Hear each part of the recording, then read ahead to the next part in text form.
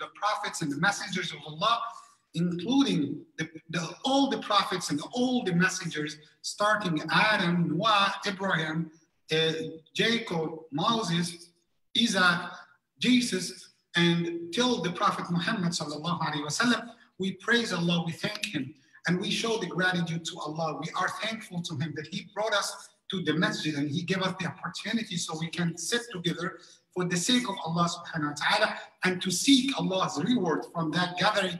May Allah subhanahu wa ta'ala strengthen our iman in our hearts and let us come together in Jannah as He brought us together in His masjid. Allahumma ameen. Ya Rabbil Alameen. And let's continue what we started yesterday. And Alhamdulillah, we had a great, a great zeal tonight so we can ask and we can quiz my brothers and sisters who were there, uh, who were yesterday here in the masjid, and we were talking about the bid'ah. And let's just remind myself and yourselves as well with the topic and with the concept of the lecture.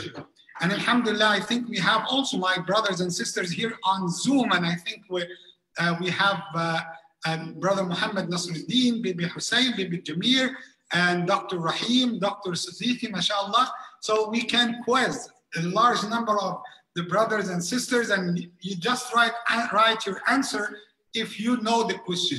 We talked before about that we are souls has bodies.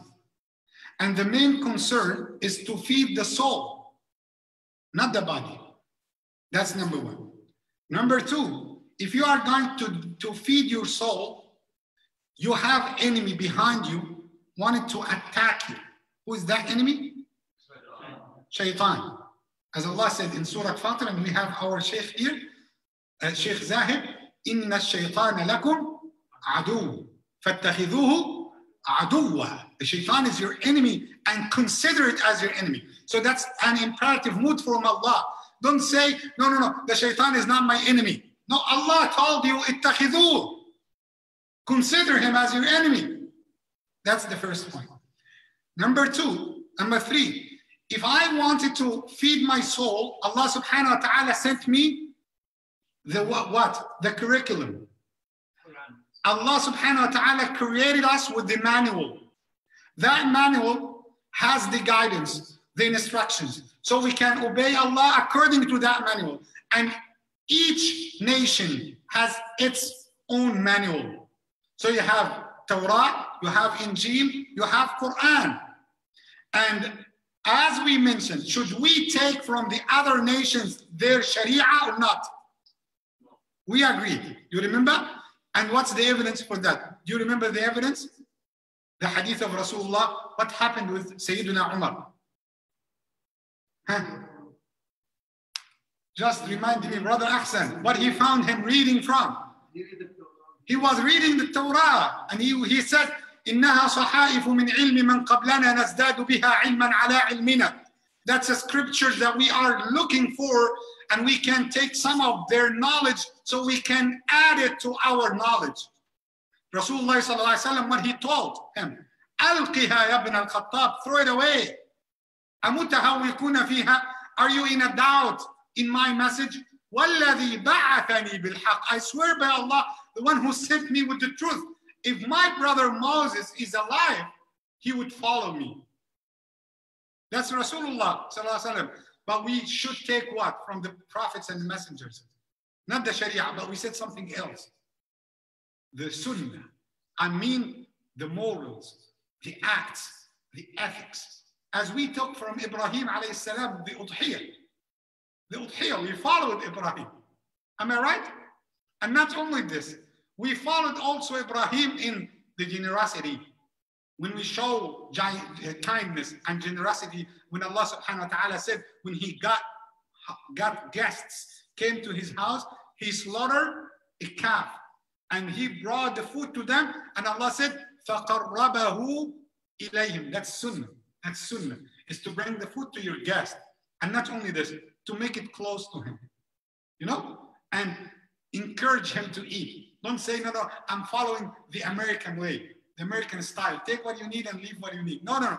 In Islam, Allah said that Abraham قربه إليهم فقال ألا تأكلون don't you, don't you eat don't you eat that's that's one of the etiquettes that we take from Ibrahim we take from Musa Musa alayhi salam his reliance on Allah his trust in Allah subhanahu wa ta'ala when his companion said inna lamughraqun we are going to be demolished we are diminished we are destroyed قال كلا absolutely not إن معي ربي سيهدين I have my Lord he is with me he will guide me that's the ethics the iman the science of the belief but when it comes to the sharia to the laws to the legislations we stick only with our sharia with the quran and the sunnah of rasulullah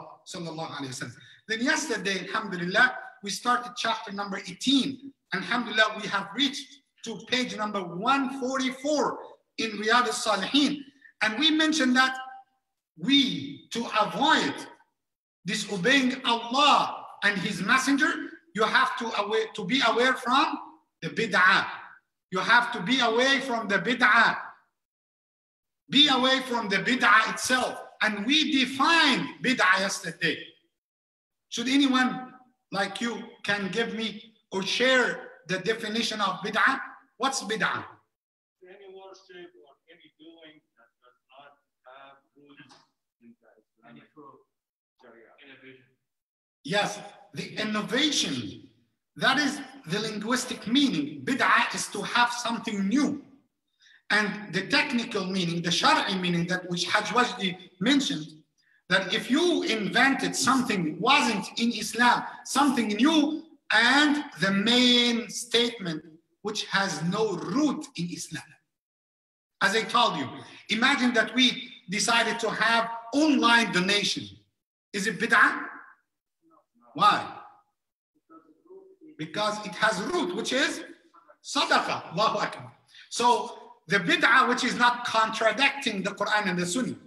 Someone, as I told you, what is the example that we give for the bad innovation? What, what we mentioned? If someone invented what nowadays? Salat what? Salat al Corona, okay? If someone tried to tell you, now we are in the middle of the coronavirus, we are in the middle of the pandemic, so let's have new salat, is called Salat al Corona. That's bid'ah. That's bid'ah. So if you have to, to differentiate between what's bid'ah and what is sunnah, and uh, I wish, I think, alhamdulillah, we had some of the brothers and sisters here, they got this message yesterday. Sometimes you got you, you got this confusion. Imam, is there, is there any good bid'ah? Nice bid'ah? And we mentioned the answer is yes and no. How could? Yes and no. According to the linguistic meaning, the lughawi, yes, we could have good bid'ah. But according to the Sharia, we cannot have good bid'ah. Because the word bid'ah is to, to create something new. That's the root in, in the Arabic language. That's why if you have someone creative, you call him mubda'. Mubda'. Someone is mubda', he's creative. He is introducing something new. That's why Sayyidina Umar ibn Khattab, he said one day, ni'ma, the people said to him, ni'ma al-bid'atu hiya. That's a good bid'ah. But that is a linguistic meaning. The Arabs used to say good bid'ah. So imagine if we had a brother who came to the masjid and he said, you know what, instead of sitting here, I wish that we can move to the other side, move to the system speakers to the other side. Okay, he did something new in the masjid. So we can call it bid'ah. Yes, that's a linguistic meaning. It could have. But as a shari'i, sharia, in the sharia, in the Islamic laws, we cannot say new good bid'ah. No, because Rasulullah sallallahu and that's the hadith, that's the evidence. He said, you remember? What's the evidence for that? كل بدعة ضلالة Kul. You know kul means every. Every bid'ah, every innovation in Islam is in misguidance. So we cannot, as a, as a Sharia, we cannot say that. But we have something in the Sharia called Sunnah Hasana, not Bid'ah. Sunnah Hasana. And the evidence for that is the hadith of Rasulullah sallallahu alaihi wasallam narrated by Bukhari and Muslim. When he sallallahu alaihi wasallam said, من سن سنة حسنة في الإسلام فله أجرها وأجر من عمل بها إلى يوم الدين. Whoever practiced, or what's the term that we mentioned yesterday? We said one word. It's the exact meaning in English or in Arabic, sorry. that in the exact translation. Whoever revived, whoever revived a sunnah. Man ahya sunnah. A'ada sunnah. Man, whoever revived a sunnah, he will get the reward and he will get the reward for everyone will follow him till the day of judgment. That's the, that's the case. And look at the opposite way. If someone, let me use that term, if someone killed a sunnah, people were in the masjid, mashallah, they were good and they were following the sunnah of Rasulullah. Someone came with a new bid'ah and he stopped practicing his sunnah. He will get the sin for himself and for everyone will follow him till the day of judgment. That's why. Be aware of every for of everything you try to create in any masjid. Why? Because you have to ask yourself, is it sunnah or bid'ah?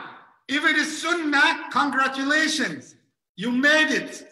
Everyone will come after you and follow your way, your method. You, the man who revived the sunnah, will get the will get the reward even if he will be in his grave. And that is something very unique you will never see in any doctrine, in any religion, except in Islam. That is what we call it, sadaqatun You will never find this concept in any place except in Islam. The continuous charity, the ongoing charity. What does it mean? Imagine if Dr. Yusuf, for example, found that there is something we are missing in the Sunnah of Rasulullah. And he reminded us, he revived the Sunnah, he gave us a wake up call. Then we started to establish this. He will get the reward. He will get the reward. And that's the case. The main concern, and I know somebody, and alhamdulillah, he's Sheikh in Egypt. You know, he is giving, he's teaching Quran. The only thing he teaches, only Al-Fatiha. That's his mission. He's in the masjid. Every child, they bring him just to teach him Al-Fatiha. And what's after Al-Fatiha? No, take him to another sheikh. Why? Because that person will recite Al-Fatiha the rest of his life. So he needs the reward. He's so smart. If you taught me, if you taught me Surah Ibrahim, Surah Al-Ra'd, Surah Al-Nahl, I may not use it. I may not recite Surah Al-Ra'd the rest of my life. But Al-Fatiha, I must do it every rak'ah. So he is so smart. That's why if you have a grand, a grandson, if you have a granddaughter, teach them. Teach. That's ongoing charity for yourself. You may die at any time, and you are in your grave, and they are reciting the Fatiha, and mashallah, your bank account still receiving funds. That's the deposits. You know, that's the case. And if somebody invented, he had a new innovation inside the masjid. Let's say, I will not mention names because you may, you know, get angry with me. If, if somebody said to the people of the masjid, you know what? We are not remembering Allah in a good way. Let's remember Allah subhanahu wa ta'ala. What's your way? What's your method, brother? I, I believe after Isha we can stand in circles okay? And we can run while we are remembering Allah and then jump to the, you know, to, to touch the, the ceiling and say certain words from his own mind. And that's to have the spiritual oxygen. If we did so, he will take the sins. He will, he will shoulder the sins. And if he died, or he left the masjid, or he left the country, everyone will follow him, will take the same. And not only this, let me go beyond this scene. Let me go more deeper.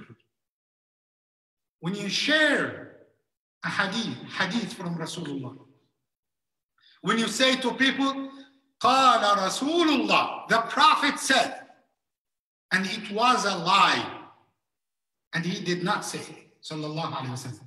If you transferred, if you conveyed a fabricated hadith, and Rasulullah didn't, didn't say it, you will get the sins.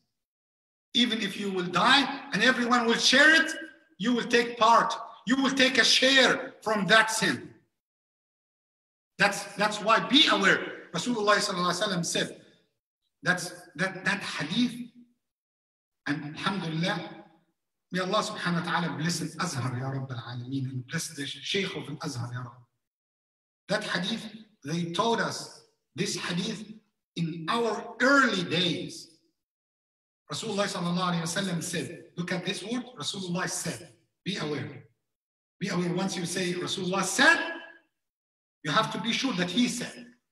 He said, من كذب علي متعمدا فليتبوأ مقعده من النار.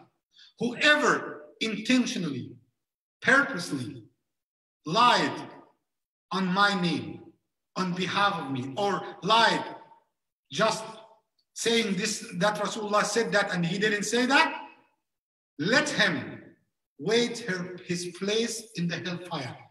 Let him behold and waiting his place in the hellfire. So as we have companions and, and people, the Prophet promised them in Jannah, we have others. The Prophet promised them that they will be in the hellfire. He told them, wait, that's your place in the hellfire. Who, who, who said that? The one who lies to Rasulullah the one who says statements that Rasulullah did not say. You know what? You know what's why it is so dangerous? Because we take the hadith of Rasulullah as Sharia. As Sharia. That Allah said, وَمَا يَنطِقُ عَنِ الْهَوَىٰ He does not speak from his own vain desire, from his own mind. In huwa illa wahyun yuha. But it is a revelation from Allah was revealed to him. So if you said Rasulullah said and he did not say, maybe someone will act according to your sayings. And you remember the story of the bird yesterday? The, the bird who takes a, a sip of water, then he has drops, and each drop has one of the angels. These the messages that we have on WhatsApp, on Facebook, on Twitter, you know, and people would say to you, share it to 30 people. And if you didn't share it, the shaitan prevented you. You will be in the hellfire. Who told you? Did you sign a contract with Allah to tell me that I will be in the, I swear by Allah that I will not share it. That's my reaction every time.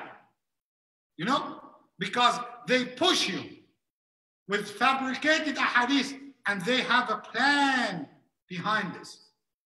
Be aware. They wanted to destroy your relationship with the hadith of Rasulullah.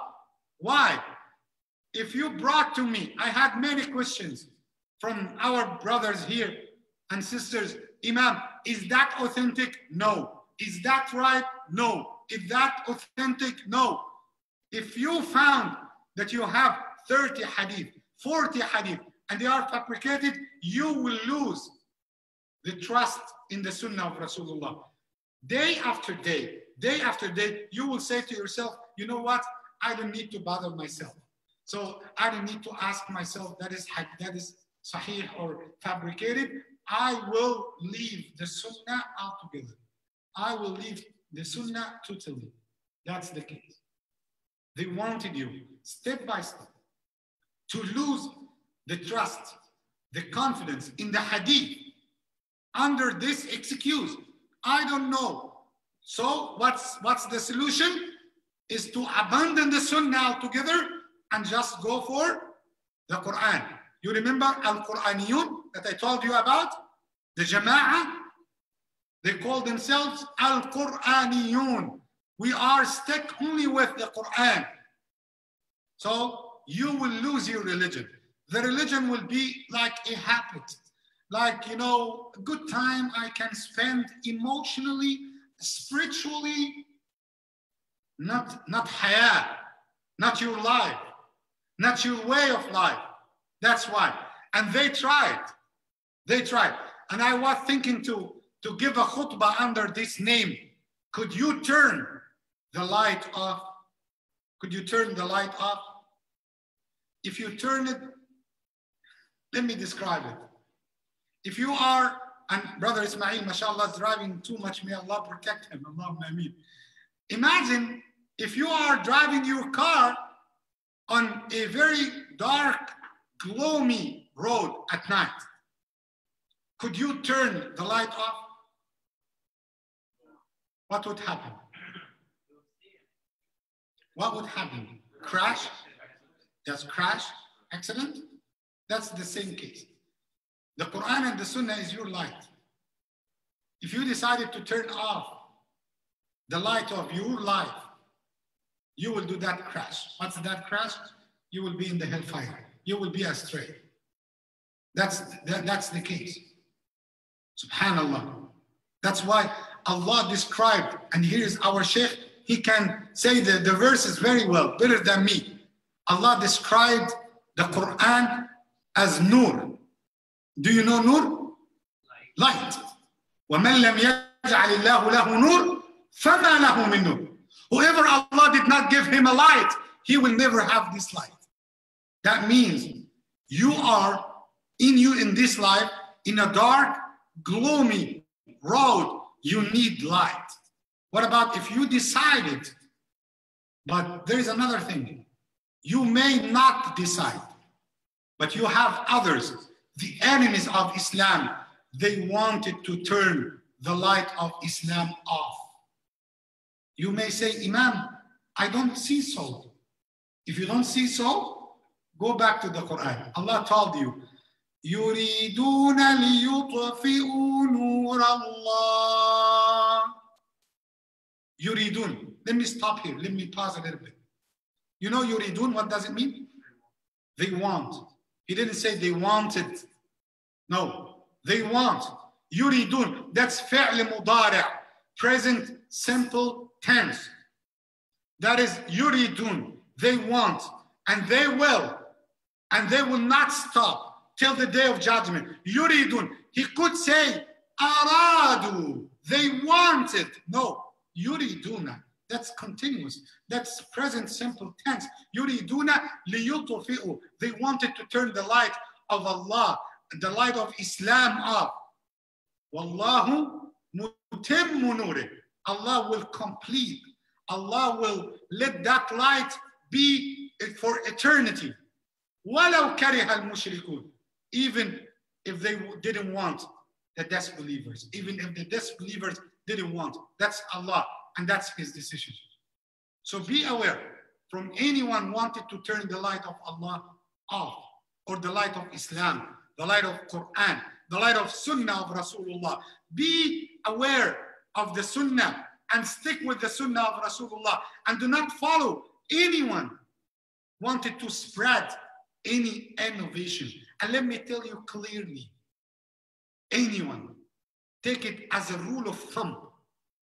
Anyone tell you anything in Islam and he does not have the evidence, the solid evidence, don't listen to him. That's clear. because that's your religion and you will be asked. Don't say, Oh Allah, they fooled me. Oh Allah, I didn't know. No, now you have all the facilities, mashallah. As I told you, you have YouTube, you have the, the Imam Google everywhere. And if you failed with them, you have the regular Imam in the masjid 24 hours waiting for your question. So you have no excuse here. Even my words, my words, if you listen to me and you, you feel you felt doubt, say to me, Imam, I need evidence. Give me evidence. And if I didn't bring it, don't, don't listen to me. Don't listen to me. That's the right. Imam Shafi'i, as I mentioned yesterday, said, ويعرف الرجال بالحق ولا يعرف الحق بالرجال. you know the real men from following or by following the truth, the evidence, and don't know the truth by following men.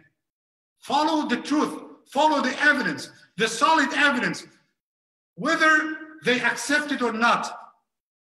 If you follow the evidence, you will finally, you will, at the end of the day, you will meet with the real men when you follow the evidence.